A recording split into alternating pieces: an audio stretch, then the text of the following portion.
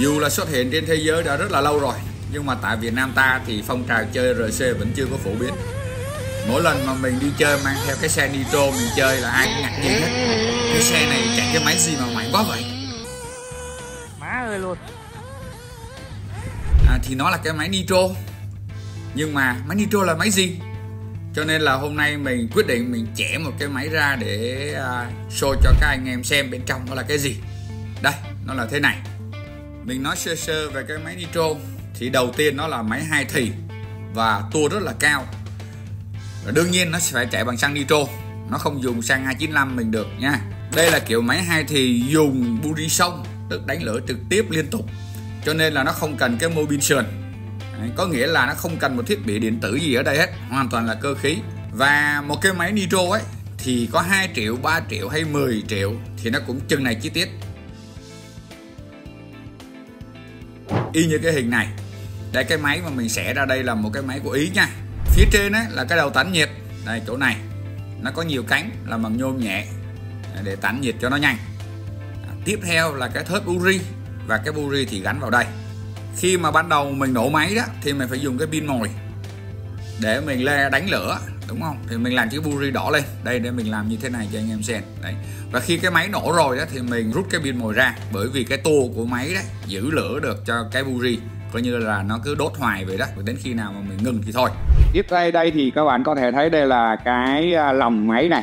Đấy, mấy anh em hay thì rành này.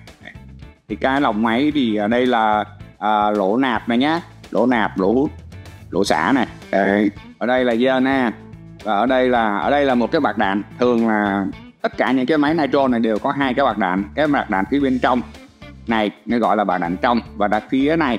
Đây chỗ này đây là cái uh, bạc đạn trước. Đây, một cái bạc đạn trước và một cái bạc đạn trong. Đây là cái cốt máy.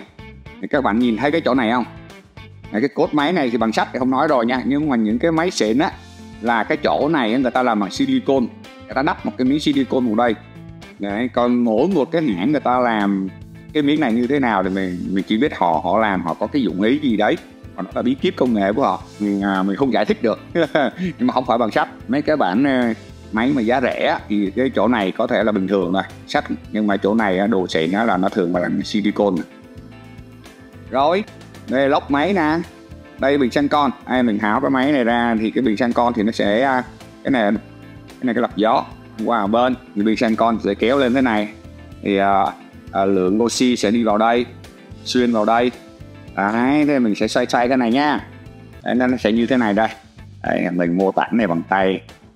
Đó, máy nó sẽ chặt đúng không các bạn thấy không? Đấy, cái chu kỳ nè bắt đầu này. Vũ cửa nạp lên nè ổ này, đó này theo quy trình như thế.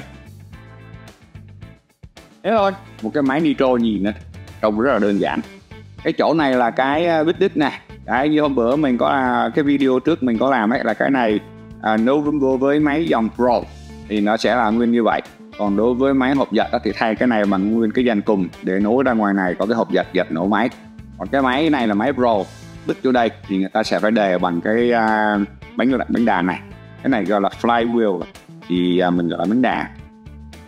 Bánh phần này thì à, mình à, gắn thêm vào đấy đi còn cái máy thì nó không có cái bánh đà này. Nha máy này không có cái bánh đà này. Đấy, các bạn nhìn thấy vui không? Đó. Nghe nó gì đó. Cái này làm.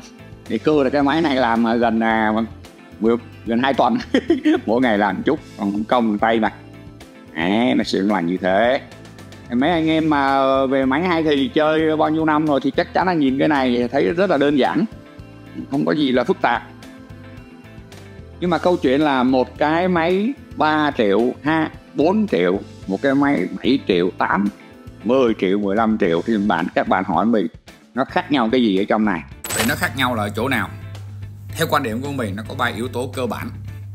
Yếu tố thứ nhất, đó là công nghệ vật liệu. Thì mỗi một hãng, họ có cái công nghệ vật liệu, công nghệ luyện kim khác nhau để tạo ra các cái chi tiết cơ khí à, mà nó phải đạt những hiệu suất về độ bền này về trọng lượng. Đó và khả năng tản nhiệt tốt nhất. Đấy. mặc dù mấy cái máy á, về hình thức á, thì trông nó có vẻ giống nhau nhưng cái vật liệu chế tạo thì mỗi hãng lại khác nhau. Và cái hiệu quả thì nó cũng khác nhau luôn. Cái thứ hai là bí kíp gia công cơ khí. Này thì mình không biết rồi cái, cái bí kíp của mỗi hãng. Đấy thì họ họ hiểu họ tinh chỉnh nó như thế nào để mà đạt được cái gì? Đạt được cái hiệu suất có nghĩa là gồm có vừa nhanh này, vừa mạnh này, mà phải tiêu hao năng lượng tốt nhất có thể, đúng không? Chứ máy mà hao xăng quá, đổ xăng chạy được mấy vòng thì đâu có tốt. Phải vừa nhanh, vừa mạnh, nhưng phải tiêu hao nhiên liệu thật là tốt. Có nghĩa là ít tiêu hao nhiên liệu, nhưng mà vẫn mạnh, vẫn nhanh thì mới là xịn.